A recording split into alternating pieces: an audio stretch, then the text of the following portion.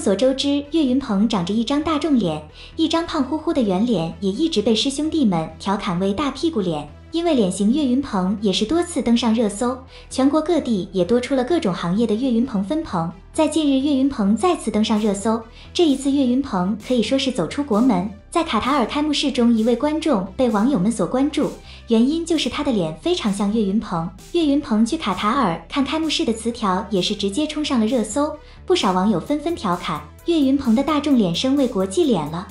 据悉，这位观众也是非常的有爱心，作为球迷还募捐了三百九十三万日元，带着受灾的孩子一起去看世界杯，非常的有爱心。不得不说，这真是人在家中坐，热搜天上来，估计岳云鹏都没有想到，要是没有上次热搜的事件，估计岳云鹏也会发文出来自黑一下吧。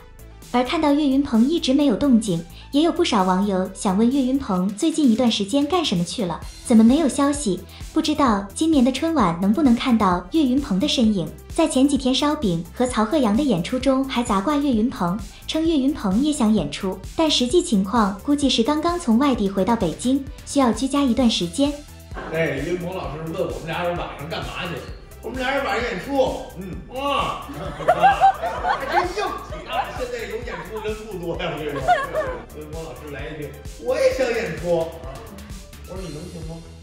看看看那个样子，你看，不是你你你什么事儿你自己心里没数是吧？你你外地刚回来，对对对，不符合有外地行程不能演出。对。